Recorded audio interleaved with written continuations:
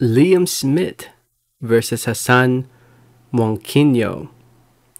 Who do y'all think is going to win this fight? Before I get more into the video, I just want to say thank you. Thank you so much for watching. Please subscribe for more boxing. And please hit that like button. It helps out the video. It helps out the channel. I'd uh, really appreciate it. And by the way, I apologize if I'm mispronouncing Hassan's name. I think I'm getting it right though. Mwakinyo. Because somebody was complaining. Somebody commented on the previous video I made talking about these fights. Talking about how Americans can't pronounce any foreign names. um, I try my best. I try my best. Uh, yeah, I try my best to pronounce the name. So if you don't like it, I apologize. But I'm still gonna make the video.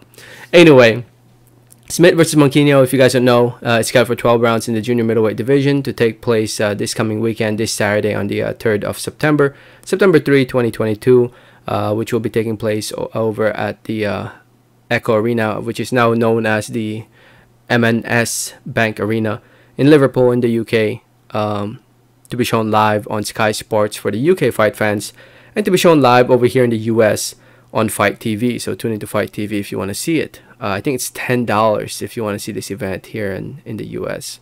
Just FYI. So anyway, Liam Smith coming off a, a, very good win against Jesse Vargas back in April. I was there live in person. I witnessed that fight live in person in the undercard of the uh, Taylor versus uh, Serrano fight at the Garden. It was an amazing event, man, and the crowd. The, the the Irish fans that were there to support Katie Taylor, they were all behind Liam Smith. Heck, I was behind Liam Smith. Um, I was rooting for him. It was an amazing crowd, man. It was insane. It was a very good fight as well. Liam Smith looked very good in that fight against Jesse Vargas, at least seeing it live in person. And now here he is uh, signing with Boxxer Promotions, leaving Matchroom, and uh, for his fight, first fight under Boxxer and uh, fight on Sky Sports um, under Boxxer. Uh, he'll be fighting Hassan Mwakinyo a 27-year-old fighter from Tanzania. 20 wins, 2 losses, 14 wins coming by way of knockout or TKO. Mwakinyo has come off a very good win against Julius Indongo. You can watch that fight here on YouTube if you want. Um, it, I, I, I, watched the fight against um, Sam Eggington years ago, four years ago. He hasn't lost a fight, by the way, since 2017. And uh, he fought Sam Eggington back in 2018, pulled off the big win in two rounds he was able to hurt Sam Eggington, and he can be a little wild, and he's still a little wild in my opinion. He's more composed now, though. I feel like, you know, I feel like he's definitely gained more a lot more experience, and he's more, um, you know, composed with his uh, punches, and he picks his shots better compared to a few years ago. Uh, but he can still get a little wild. There was a moment when Indongo was down, uh, and Mwakinyo just kept swinging. Man, the dude needs to be needs to be careful when to punch because he just he can't help but skip swing, and he can punch. The dude has power. Uh, Mwakinyo, I think he definitely has power. And come fight night against Liam Smith. Styles make fights. It, this will make for a very entertaining fight. I think Mwakinyo will be game. I think he'll be in there. And can he? It's just a matter of if he can land something clean on Liam Smith. Liam Smith will be right there in front of him. Liam Smith uh, has a very good tight guard, but Liam Smith is a very good inside fighter very good inside fighter, and you know he has more experience. He's been in there against better opposition.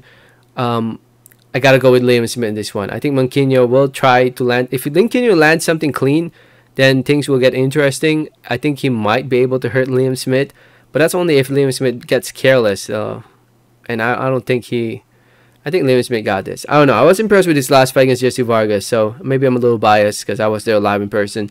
Um, but uh, I think Liam Smith got this. I think I think Mwakinyo will get frustrated, um, and uh, I see Liam Smith breaking him apart and uh, stopping him in the mid to late rounds. Uh, well, in the second half, I should say. Um, but it'll be interesting if uh, can definitely land something. He he definitely needs to go to the body early, um, if he wants to uh, pull off the big upset. But I don't think so, man. I think he's he's more of a headhunter, Mwakinyo. But but we'll see. We'll see. He's definitely improved since the uh, Eggington days. But uh, you know, looking forward to seeing how he'll do against a former world champion like Liam Smith. It's definitely the top, the biggest fight of Mwakinyo's career. Um, it's his moment. This is his chance to show the world what he's made of and what he can bring to the table. Like I said, he hasn't lost a fight since 2017. So who knows? Maybe he might pull it off this time.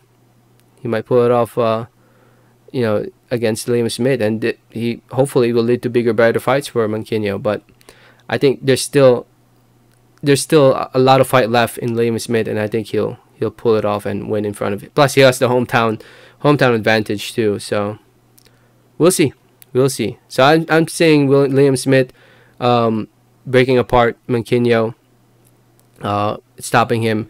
I'll say round number eight. That's that's that's my guess. Round number. It's definitely going to be in the second half. I'll be shocked if it's in the first half. But he definitely needs to be careful of those uh, wide swinging punches of Mwakinyo, because one of the if one of those lands, whew, it'll be interesting to see how Liam Smith would take them. Let me know what you guys think. Let me know your thoughts in the comments. Thanks for listening. Thanks for watching. And like always, have a great day. All right, thanks.